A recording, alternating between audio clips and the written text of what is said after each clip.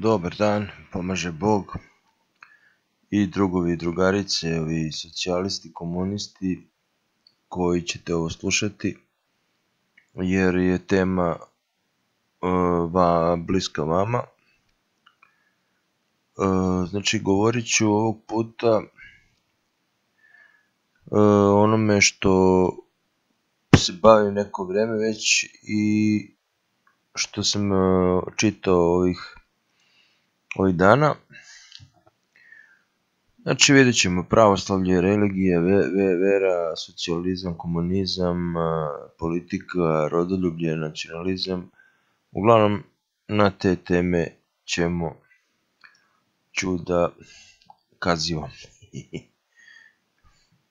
A ovako, dragi moji, šta me je nagnalo na ovu temu, premda mi se ona provlači i kroz neke ranije klipove, a naročito u posljednje vreme, jer javlja se nama tako kad je teško, kao što je sada ova epidemija korone i globalizam koji diktira, uvodi digitalnu kontrolu sve veću i veću, onda se mi vraćamo starih vremena partizana i revolucije, premda ja nisam za jednu revoluciju. Ali tako javlja se neki bunt antiglobalistički protiv tog kapitalističkog imperializma, premda ja nisam komunista, bio sam kao u detinstvu, tako smo nam učili, nije bilo ništa drugo dozvoljeno u Srbiji i Jugoslaviji. I sve šta me je nagnalo, to je tekst iz tri dela, tri teksta, odnosno postoji knjiga, ali moguće da je ovo samo da su to tekstovi iz knjige, mada je i knjiga zbornik tekstova. Sad ćemo naći socijalizam i da nađem kod mene. Socijalizam i, i, i pravoslavlje. Sad ćemo da vidimo gdje je to, sam moment, malo strpljenja, izvinjavam se. E, da ne prekidam svaki čas snimanje zbog mojih priprema, evo, socijalizam i pravoslavlje, koje mi je preporučio jedan stari prijatelj, znači dugo smo prijatelji, e, sa ovoga poznatog sajta fakti.org. A fakti to je neki ruski sajt, ne znam ko drži. Niti možda se komentarišu tekstovi, blokirano je, niti ima o nama piše samo fakti, kad kliknete na odeljak o nama samo piše fakti i ništa više. Ne znate ni ko drži, ni, niti znate, mm, niti ima kontakt, ne znam ni da li ima ni kontakt forma, a kamoli nema ni, ni mail, ništa. Znači ne znam ko drži, mogu da, da pro, pro, potražim, ali mene interesuje jer nije toliko popularan sajt. Doduše ima šta i da se pročita nešto interesantno. Neću sad da ulazim u njegovu analizu, ali eto, eto, uh, fakti, Sjata Rus, život apostola i prvih hrišćana bio je zasnovan na komunizmu, na primjer. Homjakov hrišćanstvo živelo u Grčkoj, ali Grčka nije živela i tako. Ruska crkva greh mamonizma još odbija da vidi, valjda je to samo dugotrajno iskušenje. A kako ima ta tri dela, to sam pročitao, ali kažem opet više zbog tog prijatelja e, ne ulazim u te komunističke filozofije, toga, smo, toga sam sit još iz detinstva i rane mladosti i vojske u JNA koju sam služio. Ali volim da pročeskamo o svakoj vrsti ideologije, pa i nacionalno socijalizam i fašizam i rasizam sam proučavao i liberalnu demokratiju smo svi osjetili na svojoj koži nakon promjena od 90-ih pa preko 2000-ih u bivšoj Jugoslaviji i Srbiji. Ovdje u ova tri teksta je uglavnom stavljen akcent na crkvu i na društvenu svojinu, na, na potrebu da navodno društvena svojina je jedina vrsta svojine koju Bog odobrava, na primjer. Dosta sam tom prijatelju, znači nakon pročitanog prvog, drugog i trećeg teksta, to sam sve uradio dan, dan dobro, jučer sam pročitao prvi, danas još ova dva, i dugački su malo ono, pa daću vam linkove u opisu pa da možete i vi da pročitate da vidite o čemu se radi. Um, ima previše iskrivljenih stvari, ra, pogrešnog tumačenja svetog pisma, pogrešnog tumačenja pravoslavlja i svetih otaca, vađenje iz konteksta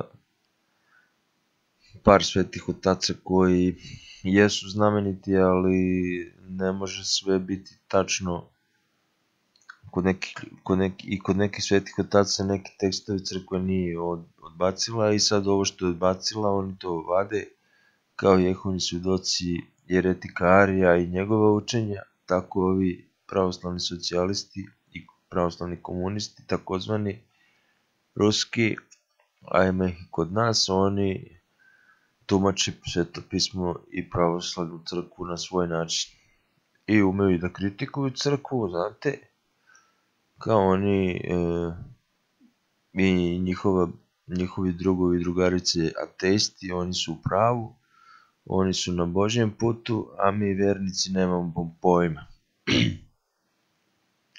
I naše sveštenstvo i vladike nemaju pojma i 99% svetih otaca nemaju pojma. Neće kažu da je njihovo učenje svetotačko, nego da je opšte prihvaćeno.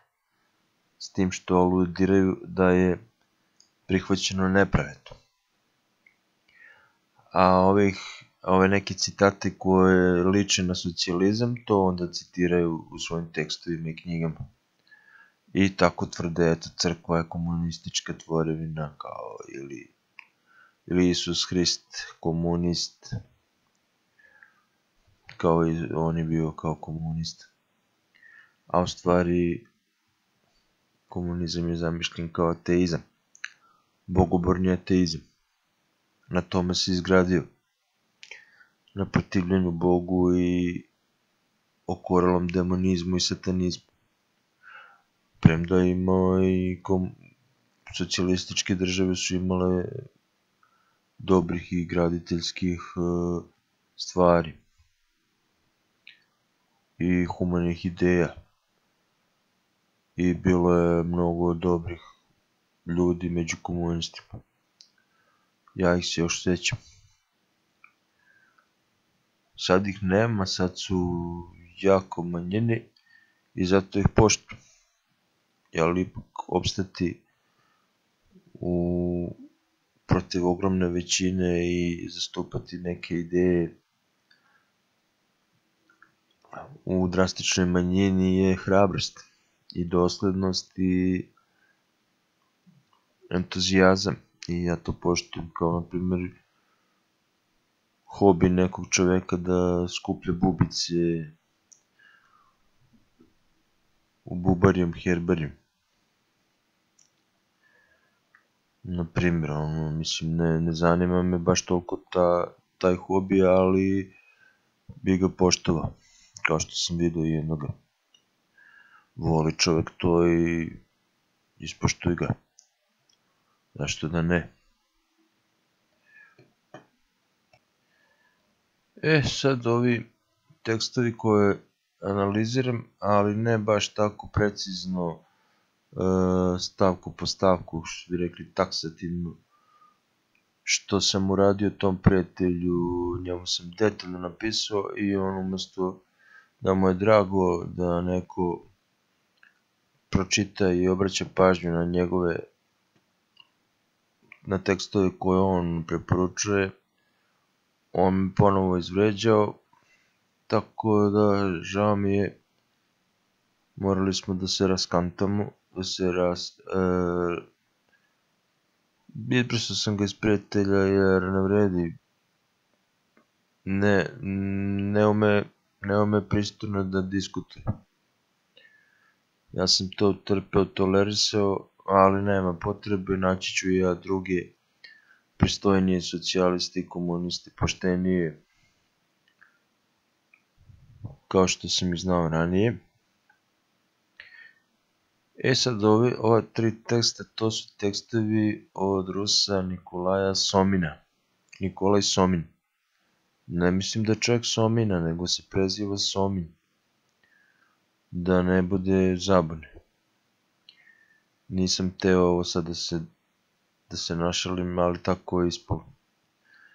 E, dobro čovjek je verovatno tamo popularan i ima neku knjigu koju je izdao, on je neki teoretičar i teolog, završio valjda i teologiju,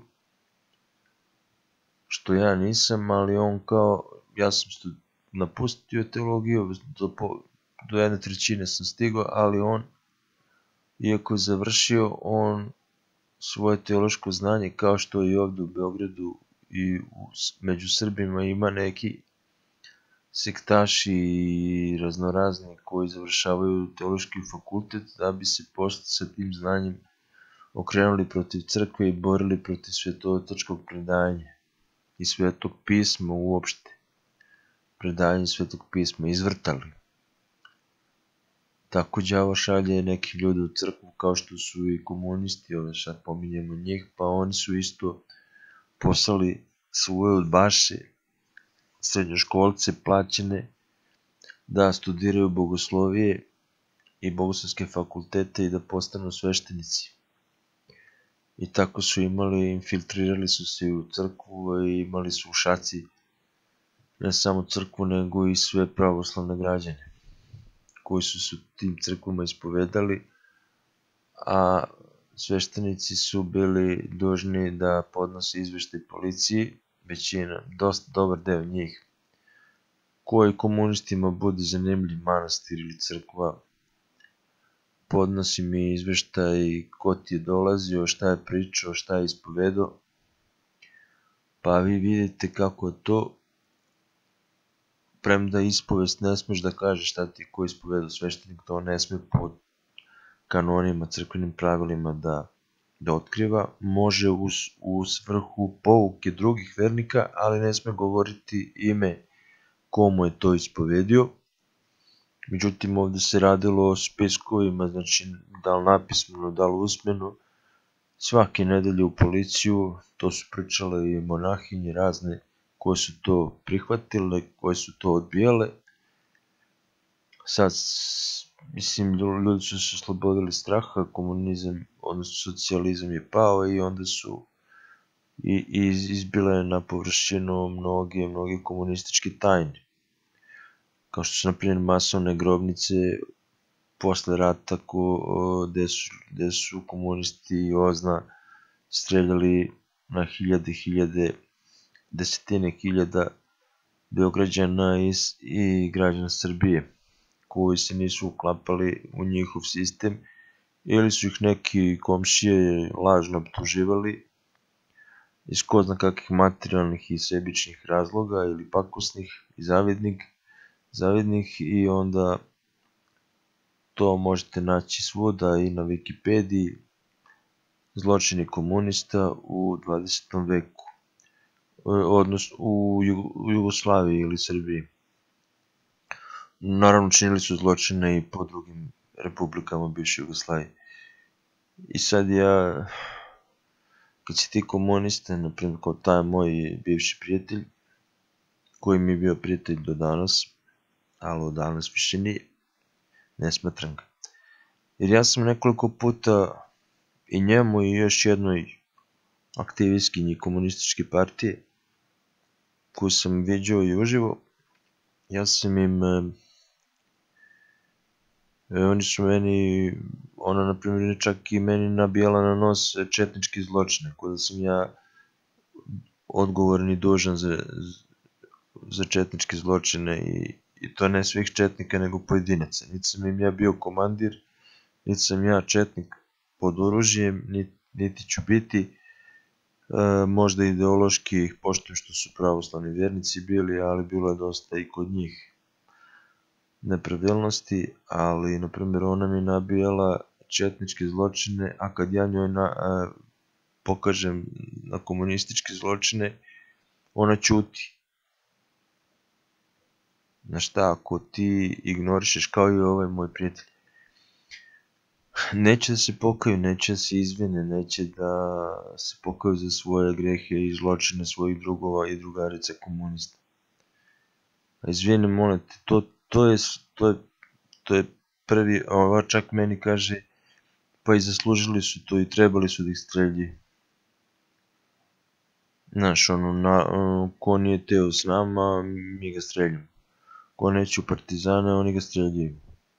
Ko neće puca na Nemciju, partizani ubiju njega.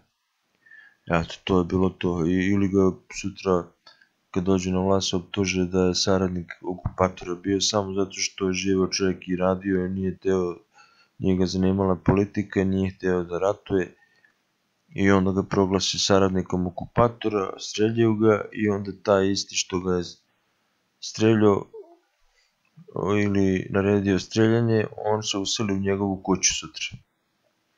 Eto, narodna a, pravda, Kobajagi, u ime naroda. Znaš, eto, tako su radili, kako ako čitate o ruskim, o Leninu, na primjer, odite na Wikipediju, ili bilo koji sajt, vidjet ćete profesionalni revolucionari. Evo ja, na primjer, nisam to znao, Jako interesantno ono čeprkati po istoriji komunizmu, pogotovo 20. veka, pa pogledati šta se sve tu desilo što nismo učili u školi ili što malo ko priča, jer nije tada ni bilo mogućnosti se to sazna, pa su se otvorili i arhive i ljudi su se oslobodili straha pa smeju slobodnije da, da svedoče. I onda tu vidite da je Lenin okupio grupu profesionalnih revolucionara. Znači njima je revolucija komunistička u stvari bio biznis. I samo pare su ih zanimale. Da se što, što lakše i što brže dočepaju. Nisu hteli da budu uspešni biznismeni u kapitalističkom sistemu, nego su hteli preko noći, preko krvi svojih drugova i tuđe krvi da se dokopaju imovine, vlasti, časti, slave uh, i da se tako bogati. Navodno kao radnički aktivisti. Eto, profesionalni revolucionari, to je biznis. Kao na primjer što je bila naša organizacija u oko 2000. godine otpor. Narodni pokret otpor. I ovaj, što je nastavio dalje svoj rad pod imenom Kams.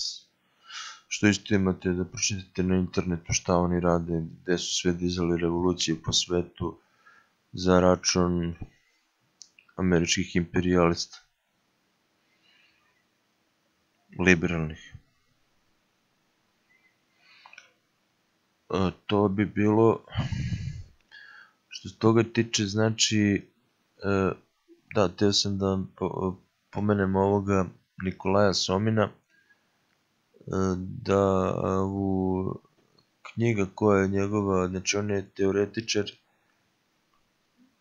socijalizma, pravoslavnog socijalizma, eto, tak, tako nešto on spaja, ali to je tako loše on uradio, I ima da se nađe nešto pametno, ali 90% su nabacane neke neutemeljene tvrdnje koje nema veze ni sa istorijom, ni sa onim što je bilo u praksi, šta se događalo tokom 20. veka. Uglavnom ovdje među knjige sam ubacio nastavnu stranu njegove knjige najpoznatije i ona se zove pravoslavni socijalizam kako ruska ideja. Pravoslavni socijalizam kao ruska ideja. E, to je zbornik njegovih tekstova od kojih je jedan pod tim imenom pravoslavni socijalizam kao ruska ideja. I on ima, čak možete tu knjigu, nema, nema mislim, nisam je našao u PDF-u, vjerovatno nešto je popularna knjiga pa se prodaje u štampanoj verziji, ali o, sam pronašao možda sve tekstove iz te knjige na jednom sajtu. Evo sad ću da se spustim dole ovom Word dokumentu da ja sam nalepio te njegove. Sad ćemo da vidimo. E, a, nisam. Ćemo da vidimo. To je da vidimo ko je to sajt. Da vidimo, da vidimo. E, sam izdvojio dva teksta koji ja nisu prevedena valjda, ali bih ja mogao preko Google prevodioca i uz mogu malo pomoći ruskog da prevedem, a koji bi me interesovali, a i nas, građane Srbije, a to je ovaj još jedan tekst kaže globalizacija, imperija i apokaliptika.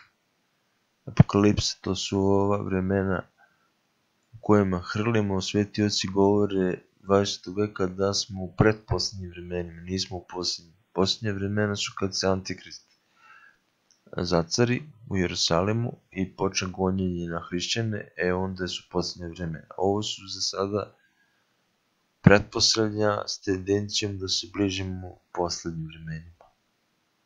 Ne do Bog, nek Bog produži malo, odloži malo to naše stradanje ili budućih naše dece i budućih generacija.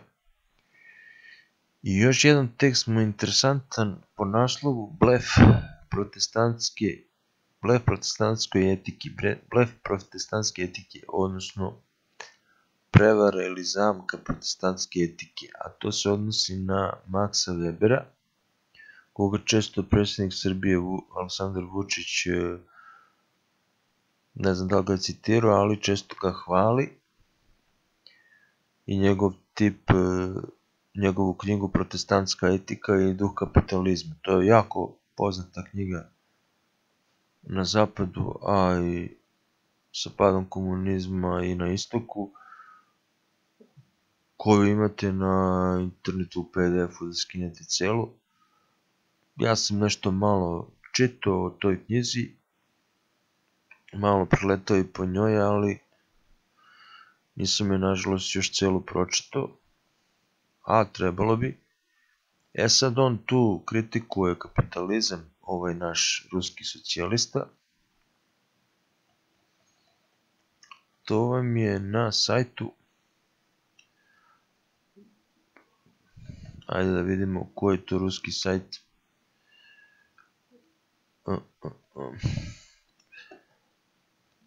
Da ne bude ne znam da ću se sjetiti to sve da vam stavim da vam stavim u, u ove linkove u, ispod videa e, to je ima na nekoliko sajtova na primjer pereprava.org eto tu ima taj tekst a ja sam ga skinuo evo neki no, nov soc Ru. Ima ga i tu. Novi socijalizam 21. vek se zove sajt.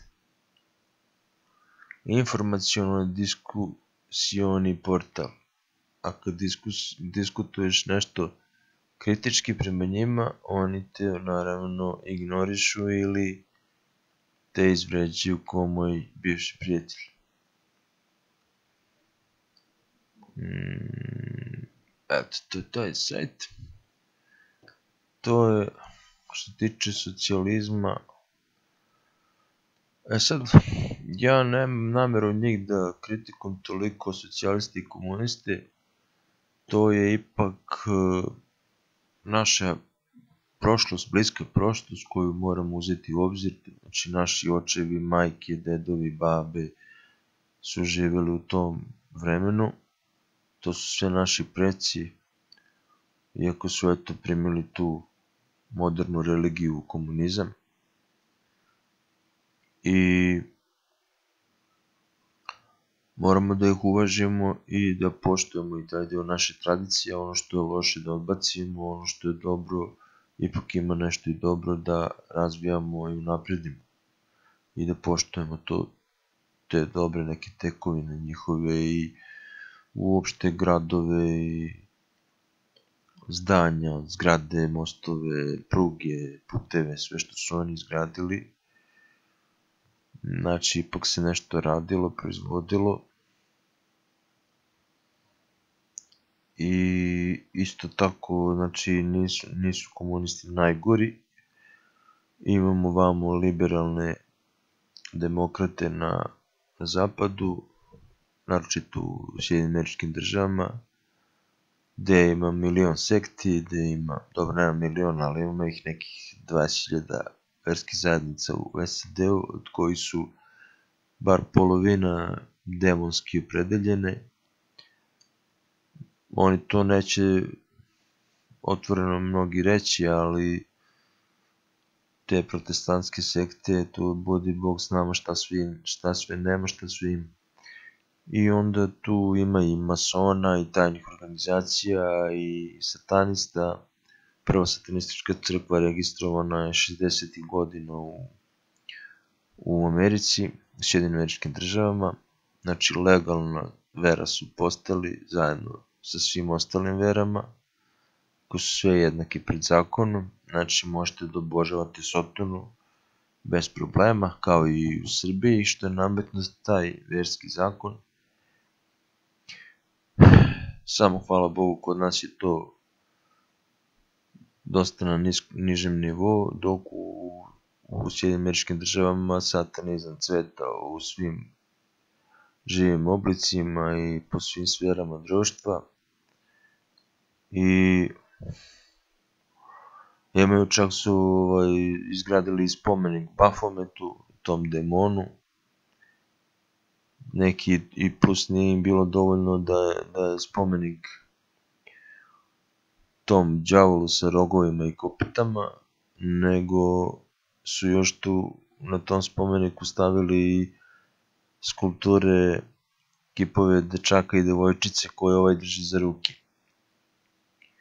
Užas jezivi, ali ovi hrišćani u Sjedinjeničke države nisu svi uspavani, ima i oni koji se bore katolika i protestanata i oni su silne peticije dizali mit, mitinge i proteste i one ovaj, žalbe i bore, bore se da se taj spomenik ukloni. Ali to je tako mrtve trka tamo. Da sad ne idem vama, prebacio sam se iz Rusije na Ameriku dok opet kažem u vreme bolševičke revolucije i progona crkve u Sovjetskom savezu su njihove vladike, episkopi bežali i vernici, inteligencija, ovaj, ugledna pravoslavna, oni su bežali najpre u Srbiju, u Jugoslaviju, gde im je kralj Aleksandar pružio utočište, što oni veoma cene i dan danas.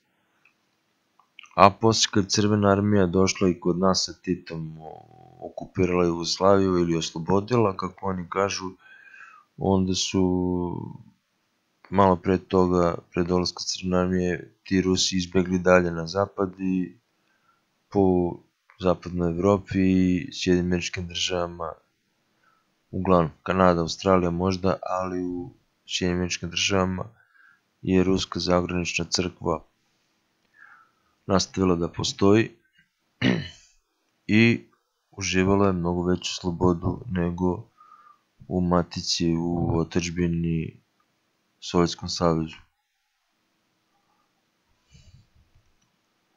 E tako, moj prijatelju, ti možda nećeš ni bivši, nećeš ni znati za ovaj video.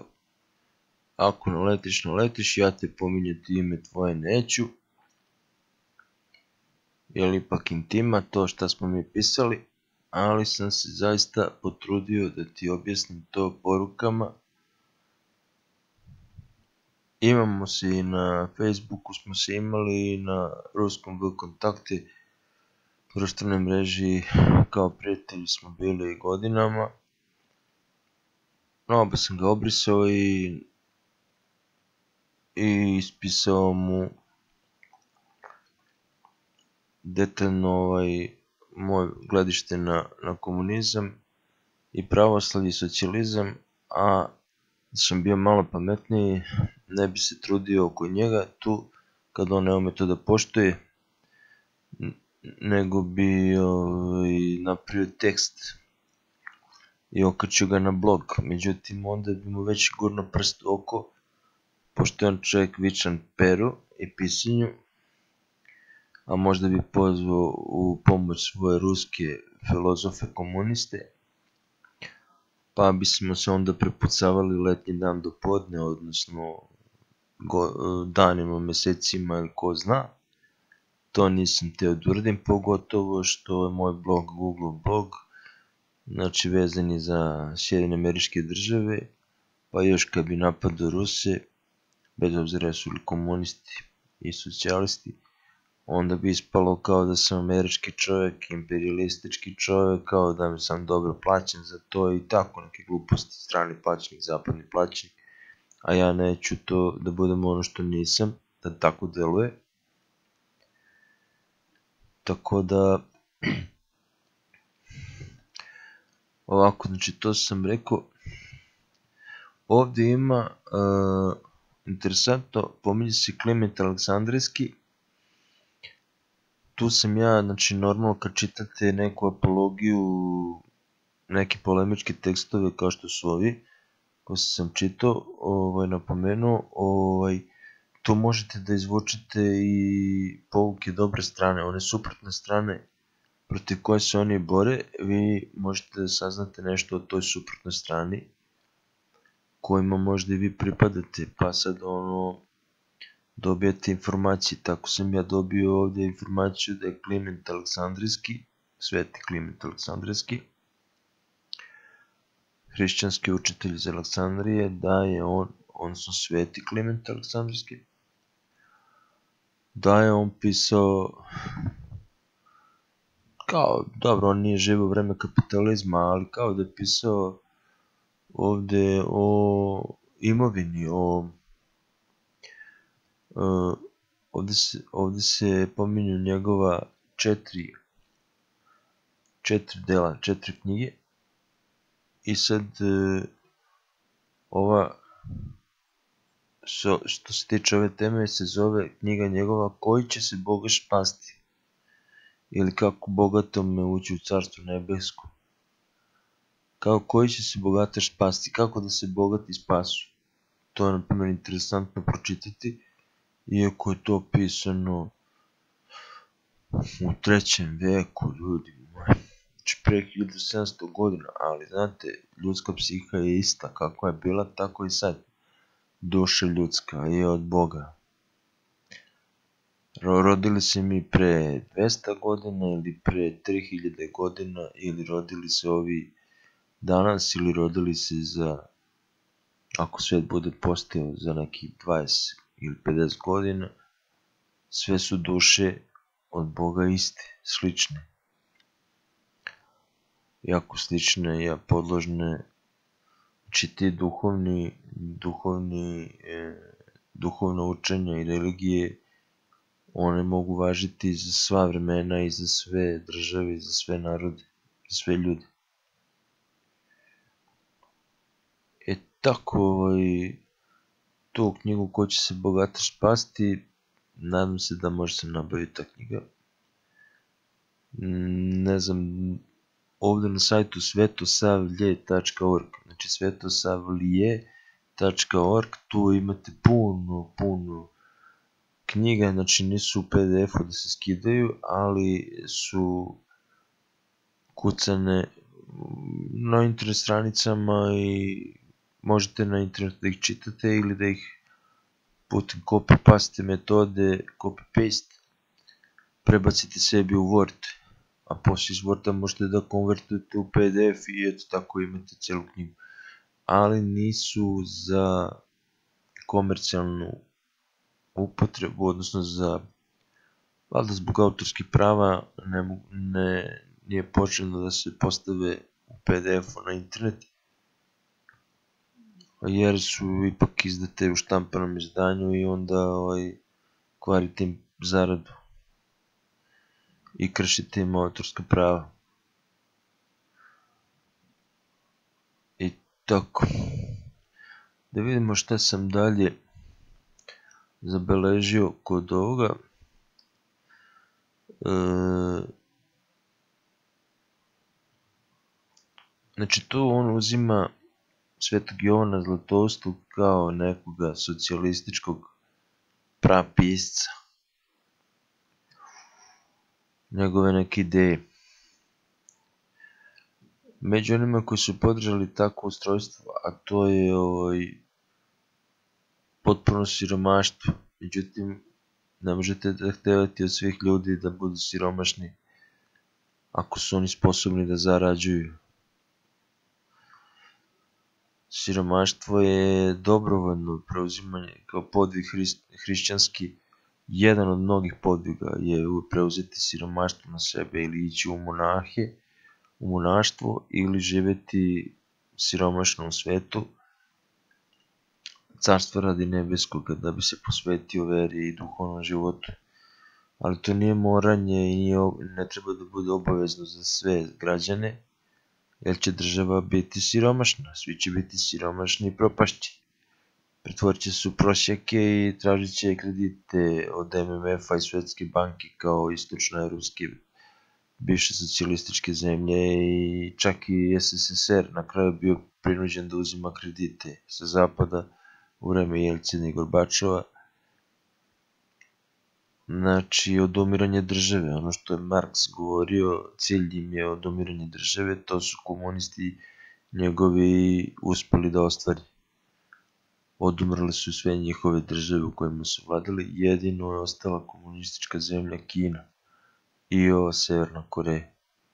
Ali oni su napravile reforme i pogotovo Kina uvela je slobodu, veću slobodu veroispovesti i privatnu svojinu, kapitalističke neke zakone, tako da sad su postali svjetska sila zbog toga, zbog te reforme.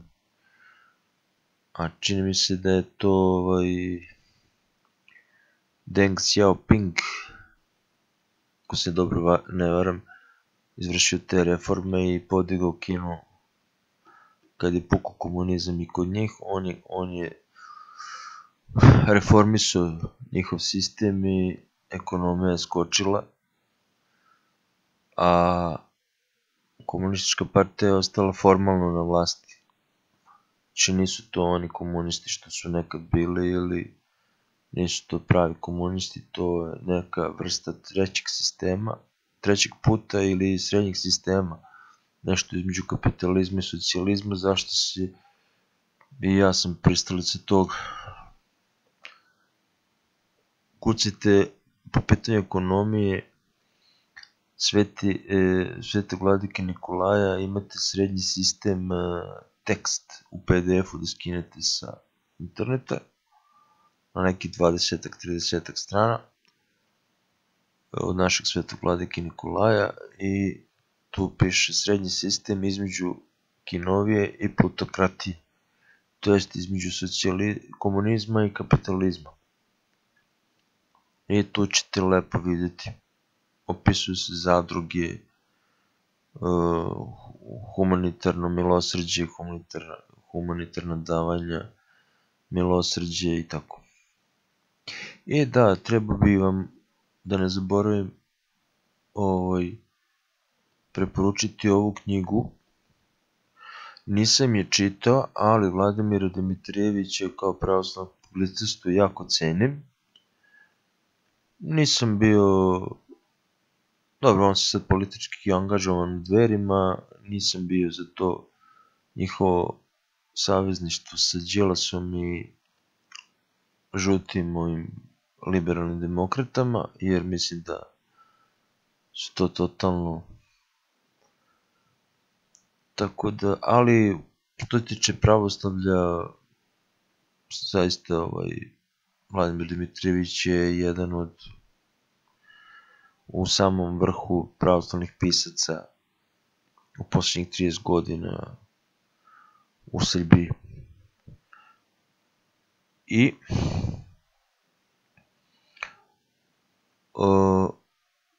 kaže knjiga na poklon, Bog ili Maman. Maman to je iz svetog pisma bog novca, odnosno to vam je pohlepa više, ne novac, nije novac nešto zlo, nego zloupotreba novca ili vezivanje za novac i materijalno, mamonizam, to je mamon, to je pohlepa, požuda, gramzivost, što bi rekli. Bog ili mamon se zove knjiga na poklon. Kucite PDF i uh, baš se pretno iznenadio što je to on objavio u julu ove godine 2020. ali je sama knjiga izdata 2009. znači pre 11 godina kao specijalni dodatak časopisa Pečat, uglednog časopisa Pečat, Sad, da li to socijalistički časopis? Malo sam i ja zaboravio u dešavanja u ovoj štampanom izdavaštvu, pošto koristim uglavnom čitam sa interneta. E, I Vlada Dimitrijević je ovde, imate na primjer u sadržaju E, interesantno poglavlje Učenje crkve o radu, svojini i globalizaciji. Pa onda imate poglavlje Da li je moguća hrišćanska ekonomija? I onda tu vlada pominje episkopa Danila Bodimskog i Stefana Žečkog, kojih se i ja sećam i, njihovi, i Danilovih predavanja. Mitrovan Hilandarac, takođe on se upokojio, bio isto jako popularan uh, duhovnik, a ne kažem popularan da je sad on nabeđen, nego je zaista bio trudio se i uticao oko, oko srpske omladine koje je iz komunizma počelo da traži Boga i pravoslavlje. I onda to vlada pominje ovde u uvodu milosrdnu sekciju i misionarsku školu pri hramu Svetog Aleksandra Nevskog u Beogradu i pokojnog prote Ljubu, Hadži Ljuba Draga Petrovića. Sad to sve vodi starešina Vajo Jović, protojerej.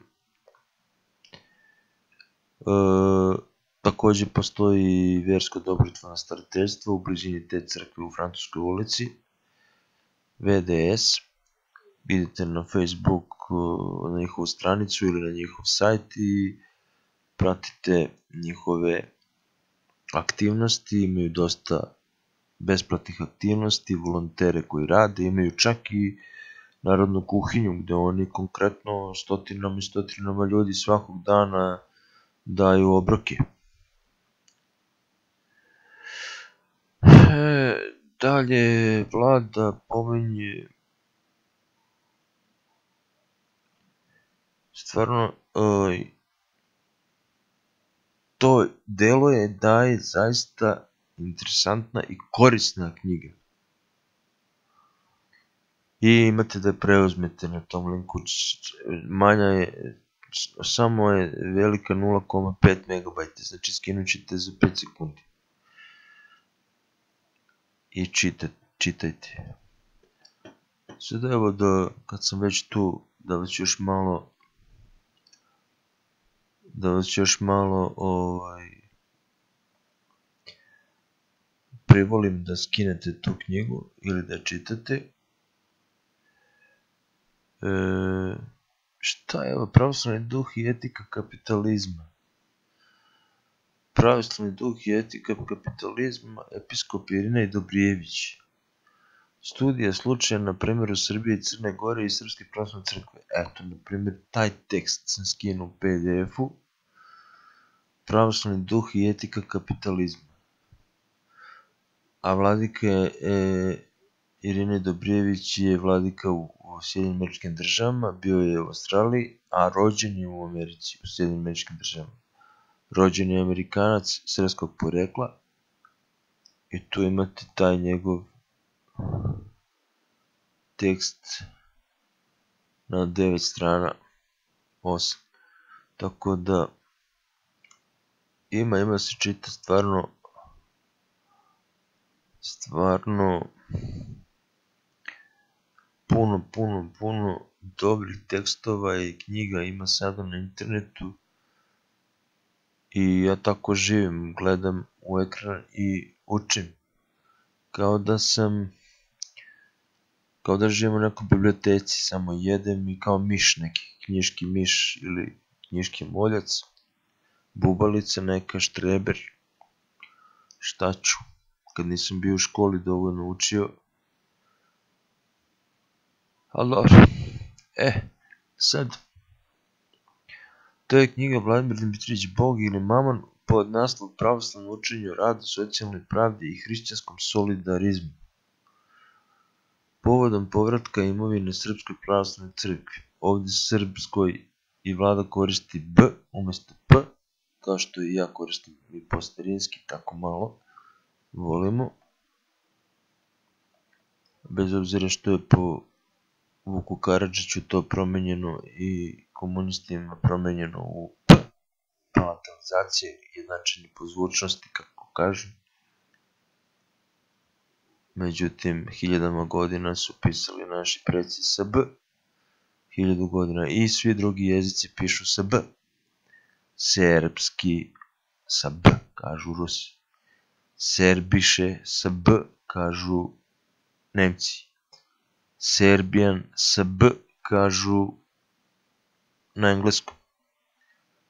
I ako pogledate 20 najpoznatijih jezika, svi koriste se B, samo jedan koristi se P. I naš srpski, mi smo prešli na P. Dobro, to je mala digresija. Uh,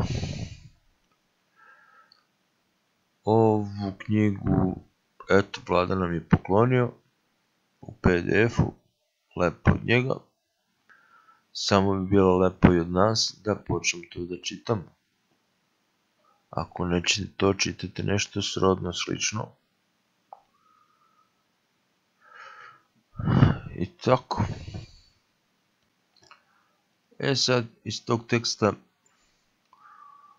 ovaj, ovog Rusa sam ovaj, izdvojio znači te svete oce koje on prebrojao, po, pobrojao da su se izdvajali od drugih svetih otaca po tom nekom učenju o imovini i nagovaranje ljudi da se odreknu sve privatne imovine da postanu siro, siromasi.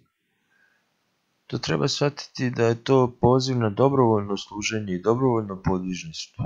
Međutim, ovaj socijalista ruski to predstavlja kao neki imperativ i naređenje za celu crkvu, za sve ljude na svetu.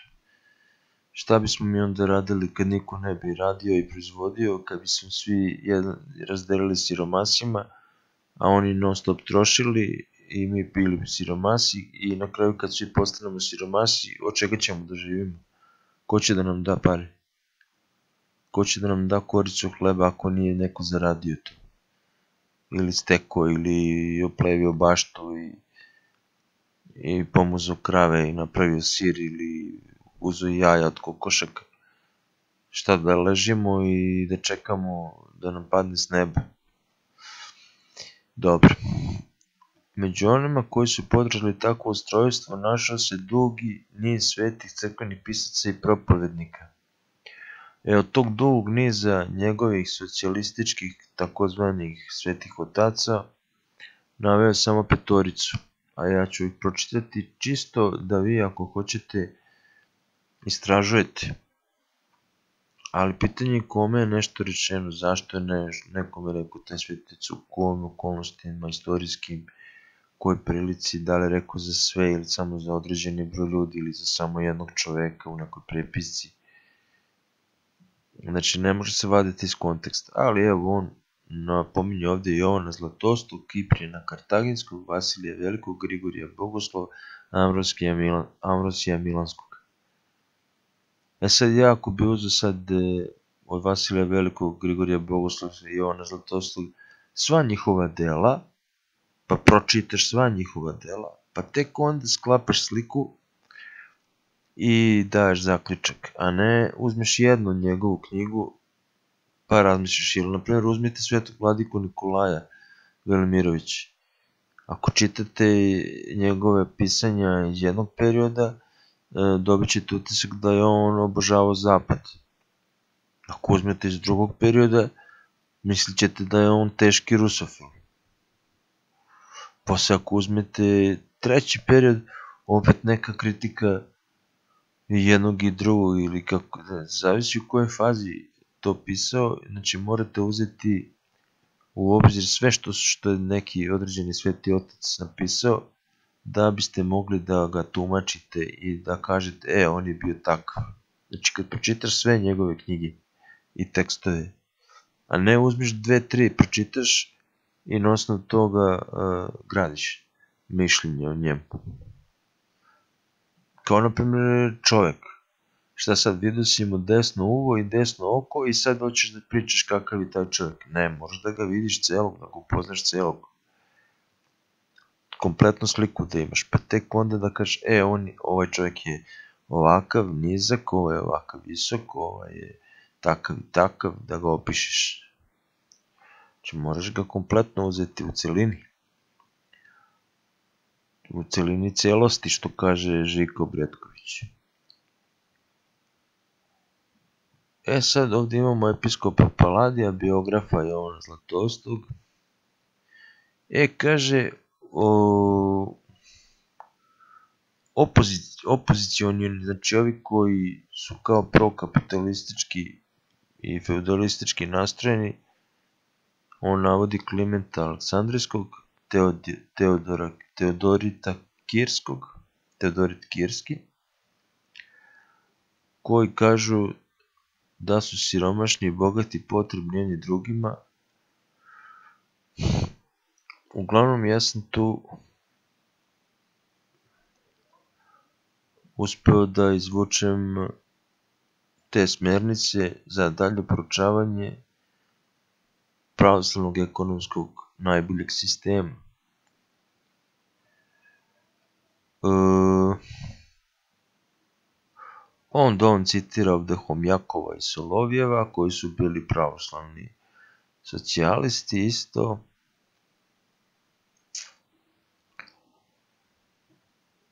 Kritikuje svetog cara Konstantina Velikog, Teodosija Justinijana, kritikuje celu Vizantiju hiljadu godina, najmoćnije hrišćanske imperije Vizantije, on kritikuje, on uči Vizantince, on uči hiljadu godina svetih otaca, mnogobrojnih, on njim, njima vrši predike ovaj, sa te tolike istorijske distance on zna sve kako je bilo u Vizantiji, budi Bog s nama. Znaš, i on očekuje no revoluciju, kao, znaš, da ona kazni crkvu, to je Božja kazna kao revolucija. E sad on tu navodi neka dela, mislim moram biti korektan, pa navesti i njihova dela socijalistička. I sad on tu preporučuje delo Utopije Tomasa Mora. A utopija i sama reč kaže da je utopija. I knjigu Grad sunca od Kampanele. Tako da ko hoće time da se bavi, ali pitanje je koliko čovjek današnji ima vremena da se teorijski bavi ekonomijom i religijom. E sad ima ovdje tak jedan, a koliko je čovjek prinuđen da se ekonomijom bavi praktično, da ide na posao, da radi, da zarađuje, da, je, da ima za hleb i uz hleb i da, da se obuči, da izdržava decu i školuje. E sad, uh, ovdje sam na kraju izdvojio jedan link. Nauka i kultura je sajt. A tekst je o čemu se govori u glavnom socijalnom dokumentu Konstantinopolskog patrijarha. I tu sad je koristan tekst, treba ga pročitati. On uh, tu govori, upoređuje uh, moskovski, odnosno ruski pravoslavni, ruski pravoslavne crkve, socijalni dokument i ovaj od Konstantinopolskog, od Vaseljanski patrijaršije, pa ih upoređuje tu. Jer imaju Rusi taj svoj socijalni dokument, pa sve to treba istražiti, uporediti tada bi nam onda bilo i jasnije ova raskol što se desio između Carigrada i Moskve, Ruske i Vaseljenske patrijašije. Ne da bi se mi sad opreteljivali za jedne ili druge i potpirivali taj raskol, nego da bi ih mirili kao što je naš blaženo počeši Irina i radio pokušavao je da bude most, da naša crkva srpska bude pomirenje između Moskve i Carigrada. Nema ništa drugo, kao što je sveti. Nema ništa Bogu ugodnije nego pomirenje i mir. To je ovaj radio i Sveti Sava, mirio svoju braću, sprečavao građanski rat, Brtobelački rat je zaustavio, izmiriši svoju braću Stefana i Vukana.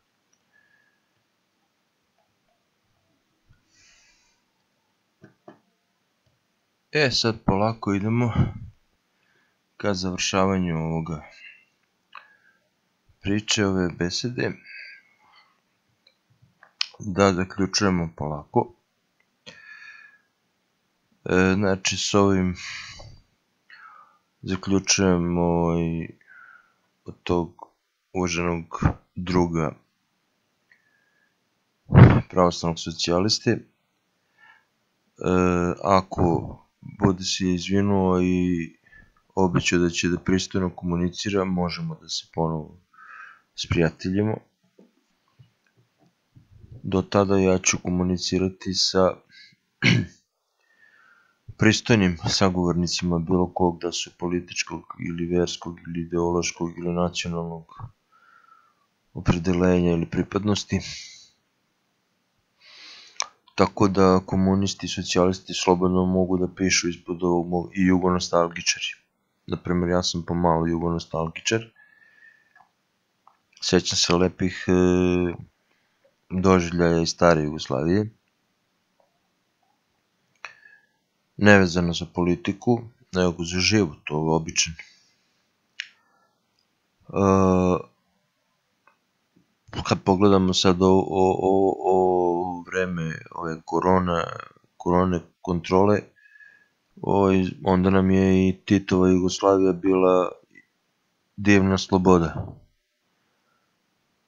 Znate, e, tako se sada to sve survalo, iako smo se izborili za slobodu pravoslavlja, sad imamo sa zapada taj pritisak opet sputavanje, opet gušenje hrišćanstva, opet gušenje srpskog rodoljublja, a šta ćemo tako, jači su od nas i tako je stanje. Ne možemo mi puno tu da učinimo koliko do nas i do naših skromnih ljudskih mogućnosti da spas samo što se spasti može, ono, pre svega svoju dušu, a onda i rođake i prijatelji komšije. I ovaj, koliko toliko. O, tako da je ova tema, verujem da mnoge neće interesovati sad u ovo doba korone, su mnogo aktualno neke druge teme, teorije i priče o svetskim zaverama. A što se tiče ekonomije, šta reći za ovo doba, osim da će nas, da će nas izgleda zadesiti teška ekonomska kriza i siromaštvo i nedostatak para. Jer e, ekonomija je svedena sputana zbog korone i onda i mnogi ljudi ne rade, mnogi ne zarađuju, mnogi troše svoju ušteđevinu i onda kad se to potroši sprema se kriza, a kao što sam pričao u posljednjim mojim video snimcima i kao što svi analitičari govore i kao što istorija nas, nas uči u, u 20. veku, kad su svetske ekonomske krize, onda je to opasnost da izazove ratove ili svetski rat, ne da Bože. Tako da ja ovaj, govorim i na, na vojne teme, bez obzira što sam miroljubi čovjek i mirotvorac, moramo uzeti u obzir to da s vremena na vreme dođu i ratna vremena, tako hteli mi to ili ne, mi ih ne prizivamo, ne, đavola ne, niko ne, priziv, ne zovemo, ali on dođe sam. Dođe zlo po svoje i šta da radim. Što se tiče to, tako da ove, ove naše nesuglasnice političke, ideološke pade u vodu pred ovim, ovim problemima kao što je korona, vakcinacija, čipov, čipovanje, digitalna kontrola, građana širom sveta, e, pokušaj da se stvori svetska vlada, da se komanduje celom planetom jednog centra, onda odbacivanje hrišćanskih vrednosti i hrišćanske vere, onda migrantska kriza, pa onda ekološka kriza, pa onda prehrambena kriza, sve živo, mislim ti svi mogući problemi, ali kad bi mi bili pobožni i krenuli se gospodu Bogu, naravno da bi nam on mnogi probleme rešio ili nas naučio kako mi da ih rešimo i da bi se lakše živjelo i da bi se stradanje i muke odložili ili izbegli ovi teškoće i problemi. Tako da je okretanje Bogu prevashodno s tim što je sada pitanje kom Bogu, kojoj veri, kojoj religiji, kojoj verskoj zajednici ili ako smo u jednoj crkvi ili verskoj zajednici u njoj ima, na primjer u mnogima ima nekoliko struja, frakcija što bi rekli komunisti. I onda ili pa, u partijama frakcije što postoje. Tako isto i u, u okviru jedne verske zajednice ili jedne crkve, na pravoslavne crkve, ima nekoliko struja ili, ili učenja, opredelenja, kako bi rekao, dok jedni ili krilo je levo krilo, desno krilo, ili naprimjer, ne u futbolu, nego mislim što tiče politike i vere.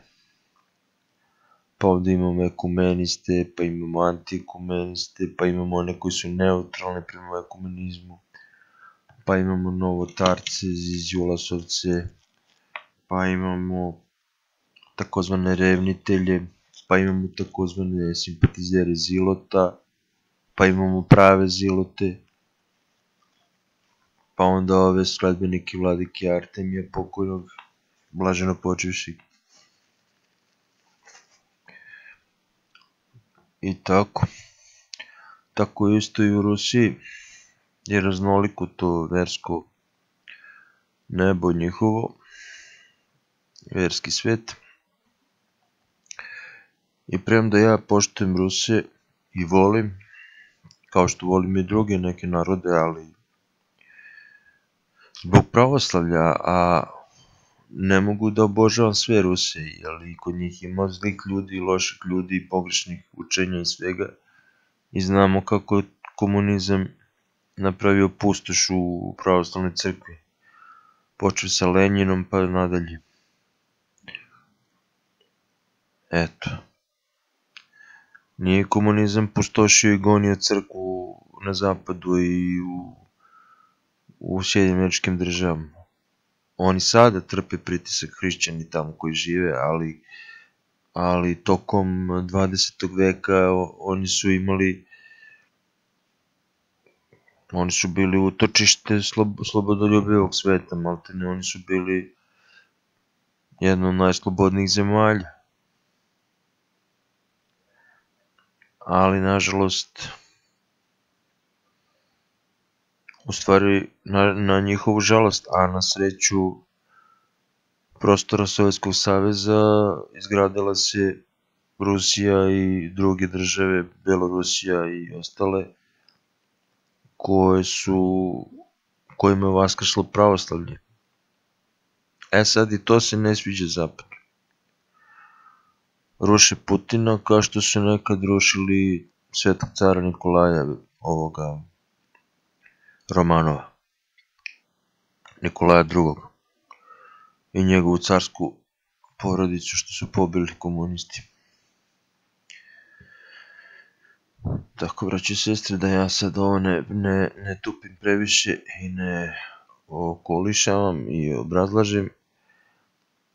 Uglavnom, moram nasloviti nekako ovaj video da ne bude pretencijozno, pretenciozan naslov, a da opet pokaže ono čemu sam govorio. Vidjet ćemo. Pa ubacit ćemo nešto kao pravoslavni, pravoslavni socijalizam i komunizam, na primjer. Mada to je opširna tema. Trebamo dati neku reč koja će opisati ovaj video, a već neki put, drugi put ćemo na, ću nastaviti na ovu temu pa da se razlikuju. Tako ne možemo nasloviti mm, ne, za tako kratko vreme objasniti sve živo o tim temama pravoslavlje komunizam. Mislim, to je jako opširna tema kojim ja na, nameravam da se bavim i dalje. Tako da